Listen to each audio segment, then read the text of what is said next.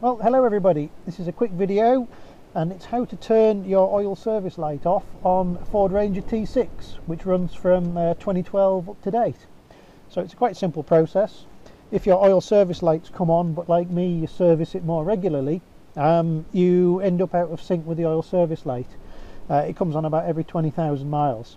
So it's a very simple process. All you need to do to be able to reset it yourself, you don't need to go to a Ford dealer for this, is we just turn the key into uh, position number two so the lights on the dash come on and you'll see your oil service lights on. And without starting the engine with the key in that position, we put our foot on the throttle and the brake, so hold it over the pedals and then press both pedals down for 20 seconds. And if you do that and watch the service light, after 20 seconds the service light will start blinking instead of being on all the time.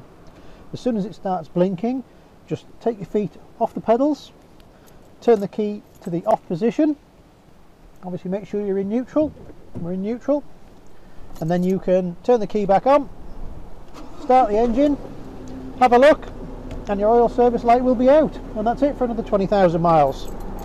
So, simple as that. Well, thank you for watching. Hope that saves you a bit of money going to the dealers to do it.